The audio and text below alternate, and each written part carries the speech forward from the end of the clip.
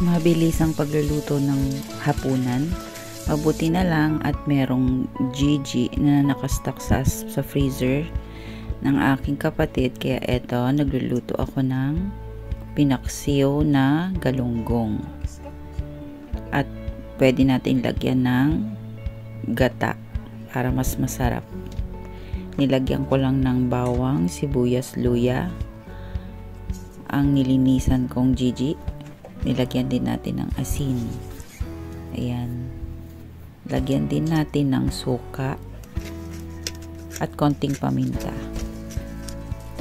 At pagkatapos ay pwede na nating isalang at pakuluan. Since merong vegan seasoning na nandito sa kusina ng aking kapatid ay nilagyan ko na din.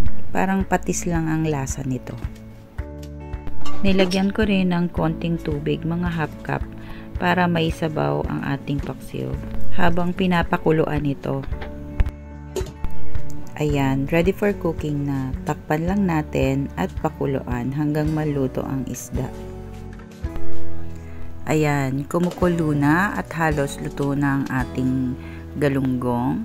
Kaya, pwede na natin ilagay ang ating coconut milk instant coconut milk lang ang ginamit ko since nagmamadali din tayo. Tikman kung okay na sa inyong panglasa. I-simmer lang natin hanggang maluto ang gata at pwede na natin itong ihain. Ito na ang ating paksiw na Gigi with gata. Kain po tayo!